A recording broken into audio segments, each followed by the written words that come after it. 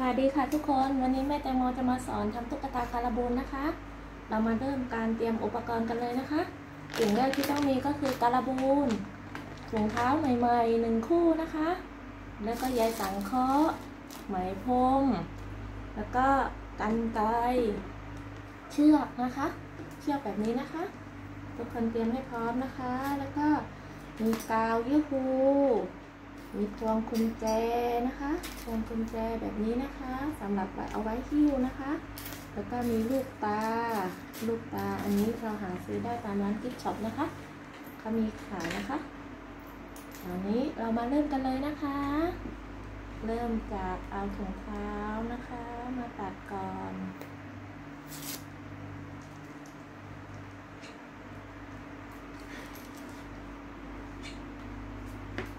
นะคะ ถุงเท้าแบบนี้นะคะ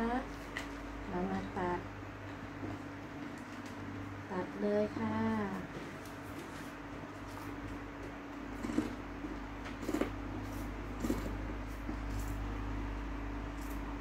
แบบนี้แล้วนะคะ ให้มันมีพุงด้วยนะทุกคนคราวนี้แล้วก็เอาใยสังเคราะห์ประมาณนี้นะคะกำมือประมาณหนึ่งกำมือนะคะ ก็ใส่การาบูน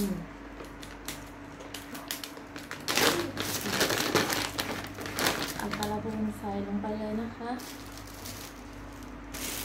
อาการาบูนใส่ไว้ในยาสังเคราะห์นี่นะคะหนึ่งช้อนเต็มๆที่จะได้ให้ได้กลิ่นหอมนะคะนี่นะคะกราบูนเอาไว้ไล่ฝนได้นะทุกคน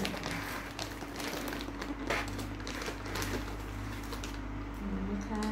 ตาลปูนหนึ่งช้อนปูนปูนหรือสองช้อนก็ได้นะคะ แล้วก็ให้มันหอมเอายาสังเคราะห์เนี่ยค่ะ ม้วนให้กลมๆกลมๆแบบนี้ แล้วก็ใส่เข้าไปในถุงเท้าที่เราตัดไว้เมื่อกี้นะคะนี่นะคะมันก็จะได้รูปทรงประมาณนี้ค่ะ เป็นน้องเป็นรูปหัวกลมๆอย่างนี้นะคะน้องเดือดกลมเสร็จแล้วเราก็เอายางยางนี่นะคะรัดไว้ สักสามครั้งนะคะ อย่างนี้ค่ะ มันก็จะได้เป็นหัวตุ๊กตาเลยนะคะ คราวนี้แล้วก็มาเก็บรายละเอียดเอาไม้คมเอาใยสังเคราะห์เนี่ยค่ะ เก็บให้หมด ให้มันเข้าไปอยู่ในหัวให้หมดนะคะๆตัวอย่างก็จะเป็นแบบนี้นะทุกคน เสร็จแล้ว เสร็จแล้วแล้วก็คราวนี้ก็จะได้เป็นแบบนี้แล้วค่ะ พอได้แบบนี้แล้ว ได้แบบนี้แล้วนะคะคราวนี้เราก็จะมาเติมขา เติมขาให้ตุ๊กตาแม่แตงโมจะใส่ตรงนี้เข้าไปนะคะ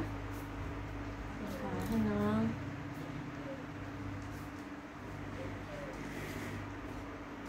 กับเชือกที่เราเตรียมไว้เลยนะคะ ครับสองข้างให้เข้ากัน แล้วก็เอาตรงกลางมาไว้ตรงนี้ค่ะ ตรงใจกลางตรงนี้นะคะแล้วก็เย็บมัด ให้ขาติดอยู่ตรงกลางนี้นะคะ จะได้ไม่หลุดเวลาเราเอาไปแปะไว้จะได้ ไม่หลุดออกจากตัวนะคะนี่ค่ะแค่นี้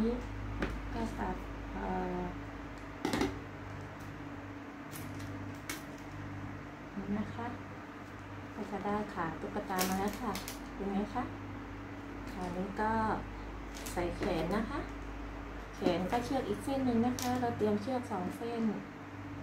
แขนแล้วก็มัดไว้เลยค่ะตรงนี้นะคะ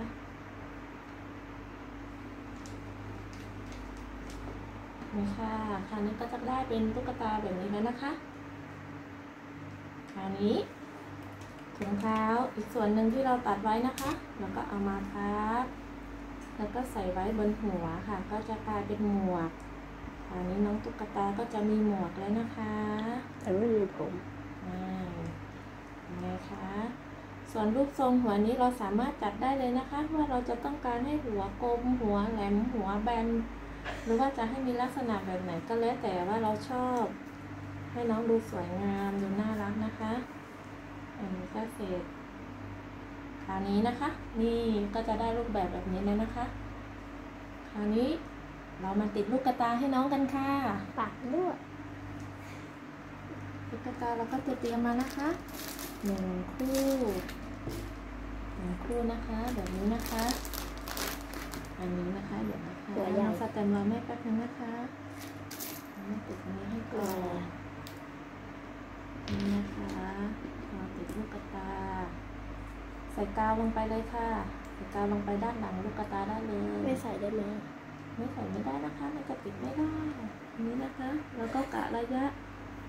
ให้มันพอดีเพื่อความสวยงามนะคะ มีตาสองตานี่ค่ะเอียงหรือเปล่าไม่เอียงค่ะ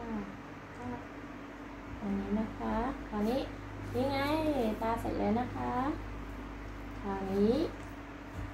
เราก็เติมปากให้น้องตุ๊กตานะคะด้วยการใช้ไหมพรมนะคะไหมพรมเราก็ตัดเอาให้ปากยิ้มพี่ปาแตกงหรือยิ้มพี่แตงปากยิ้มเราก็ทำแบบนี้นะคะ นี่ประมาณนี้นะคะ เสร็จแล้วเราก็ทากาวตรงนี้เลยค่ะทำไม่ถั่วเขียวน้องก็จะยิ้มแบบนี้ค่ะทำหน้ายิ้ม เวลาเรามองเราก็จะได้สดชื่นนะคะ เสร็จเราก็เอาไหมพรมติดลงไปเลยค่ะ ติดไหมพรมแบบนี้นะคะนี่แค่นี้ก็เสร็จแล้วค่ะแล้วก็จะได้น้องตุ๊กตาหัวหอมที่ยิ้มให้เราทุกวันเลยนะคะ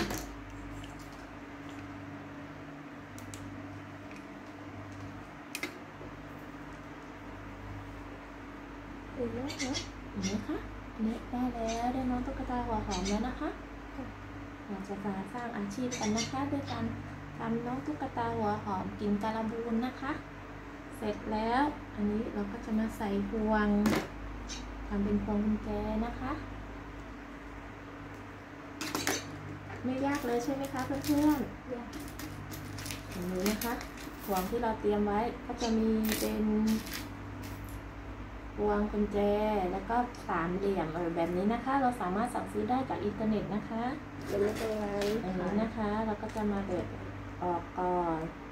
ถ้าเกิดเราไม่มีแรงเด็ดเราก็สามารถใช้ครีมคีบให้มันอ้าออกได้นะคะ แล้วก็อันนี้นะคะเราก็จะมาดึงกะว่าถ้าเราหิ้วมาแล้วหุ่นเขาจะได้อยู่ประมาณนี้นะคะ เราก็สามารถใส่ตรงนี้เลยค่ะ ใส่ห่วงเข้าไปตรงนี้เลย เพราะว่าอันนี้ถุงเท้าหัวของน้องเขาเนี้ยค่ะ มันใส่ง่ายแล้วก็ใส่รูดเข้าไปเลยค่ะ